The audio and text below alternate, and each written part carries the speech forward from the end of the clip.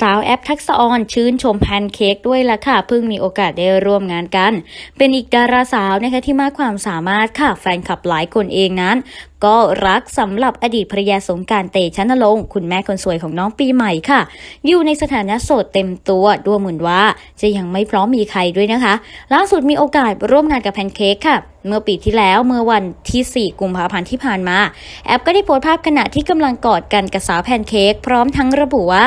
ทำงานในวงการมานานอย่าเพิ่งมีโอกาสร่วมงานกับแพนเค้กในปีที่แล้ว หลงรักเลยค่ะ พร้อมกับ tag หา account ของแพนเค้กค่ะทำเอาบรรดาแฟนคลับเองเนี่ยเข้ามา comment กันยกใหญ่บ้างก็บอกว่า เป็นสาวคนละช่องที่ให้พลังความรัก และเป็นแสงออร่าเดียวกันจริง ๆ จะน่ารักขนาดไหนสำหรับนางเอกทั้งสองคน มาติดตามรับชมกันค่ะ